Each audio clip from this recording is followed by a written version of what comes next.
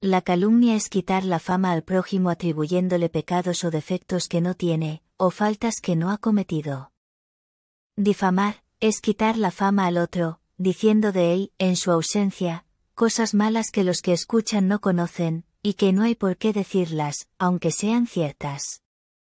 El Papa Francisco nos recuerda, hablar mal de otro es matar, porque la raíz es el mismo odio, no tienes el valor de matarlo o piensas que es demasiado, pero lo matas de otra manera, con las habladurías, las calumnias, la difamación.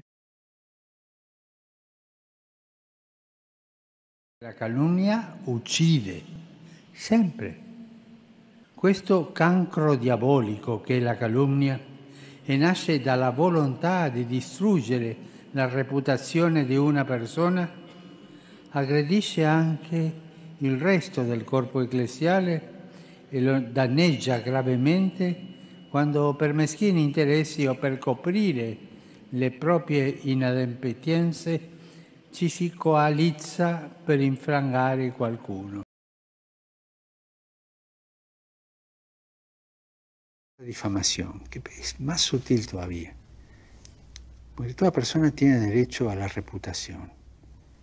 Y si vos hace 20 años pegaste un refalón en la vida, hiciste una macana, pagaste la cuenta, pagaste la pena. Sos ahora una persona libre y sin mancha. Eh, la difamación, o sea, te traen una mancha de antes y te la tiran ahora, no?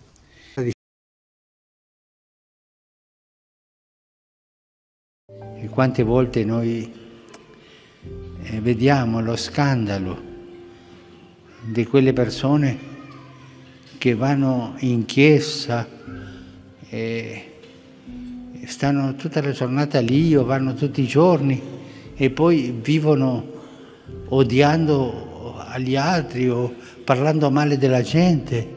Questo è uno scandalo. Meglio non andare in chiesa, vive così come ateo. Ma se tu vai in chiesa, vive come figlio, come fratello.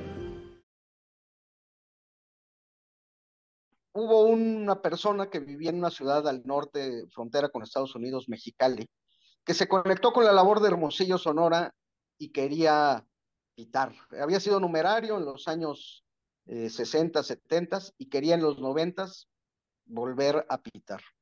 Y entonces, eh, el centro, el Consejo Local de Hermosillo consulta con el Consejo, eh, con la delegación de Guadalajara y la delegación de Guadalajara Comisión a ver si le podían dejar pitar. El vocal de San Miguel eh, desempolva su expediente, porque siempre hay un expediente para ti, aunque regreses en mil años, va a estar tu expediente, no te preocupes. Y dice, no, por X y X razones, donde había razones de pureza. diez años después, una persona le preguntó al vocal de San Miguel, en ese momento ya falleció, Armando Lomelín, le dijeron, oye, ¿por qué corrieron a Guillermo Trevillo?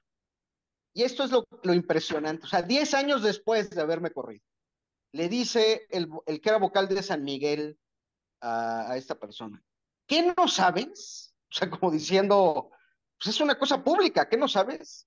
Guillermo Treviño se acostaba con otros hombres. Y entonces esta persona a la que se lo dice Armando Lomelín, me lo dice a mí. Entonces yo me entero por eso 10 años después, pero además como si fuera un hecho público, ¿no? ¿Qué no sabes? En la primera narración, se explica cómo se da una difamación, y, tal como lo explica el Papa previamente, se trae un error, defecto o pecado de la vida pasada y se daña con ello la reputación actual. Es un pecado grave según la doctrina católica. En la segunda narración, se ejemplifica una calumnia, la persona ignora que se dice una mentira de ella a sus espaldas y tarda diez años en enterarse de lo que se dijo y las consecuencias de esa calumnia. Es un pecado grave según la doctrina católica.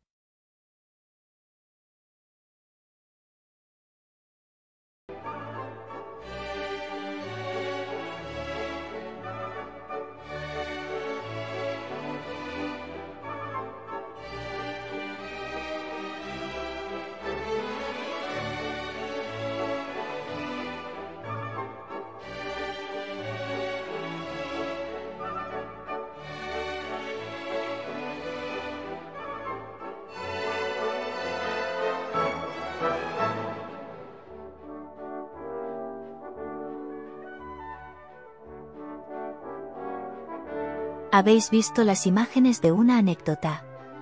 Una mujer confiesa haber murmurado, y como penitencia, San Felipe Neri le pide que desplume una gallina y esparza las plumas por todo el vecindario.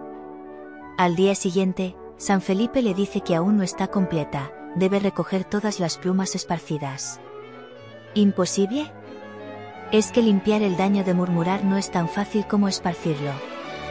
La calumnia, la difamación y la murmuración son como esas plumas esparcidas por el viento. En el Opus Dei, como en cualquier otra institución, estas prácticas causan estragos en la vida de las personas, destruyendo reputaciones sin razón. El Papa dice que la calumnia, la difamación y la murmuración dañan especialmente a nuestra propia alma y a la institución. Pero lo que más me llamó la atención es que toda falta cometida contra la justicia y la verdad, o sea, esto de lo que estamos hablando, entraña el deber de reparación, aunque su autor haya sido perdonado. O sea, alguien me difamó, habló mal de mi persona y bueno, después vino y me pidió disculpas. No basta, sino que hay que reparar.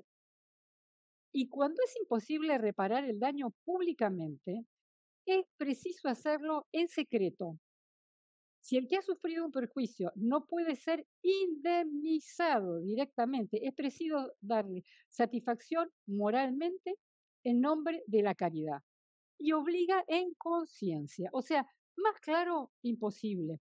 Todas aquellas cosas que se han dicho, em, el comentario que hacía Alicia, em, que se había metido en un matrimonio, el que habían hecho con respecto em, el vicario regional a las 43 y al abogado, eh, todo eso es terrible, es una falta grave, porque es decir cosas que no son ciertas de las personas, el haber vulnerado su reputación, su dignidad, y eso está sin ser reparado. Eso es una falta gravísima, una falta moral. Yo no me voy a meter a hablar de moral porque no es el espacio ni corresponde ni yo soy la representante para hacerlo. Pero sí lo que les digo es, señores de la obra, vuelvan a leer el catecismo por favor, hagan un poco de examen de conciencia, miren sus actos, sus acciones y actúen en consecuencia. Lo que hay que reparar, hay que repararlo. Eh, no se puede decir simplemente pedimos una disculpa así genérica. Vamos a pedir disculpas concretas, con nombre, con apellido en cada una de las personas y vamos a restituir esa dignidad a la que hemos privado a las personas. No tenemos derecho, no tenemos derecho.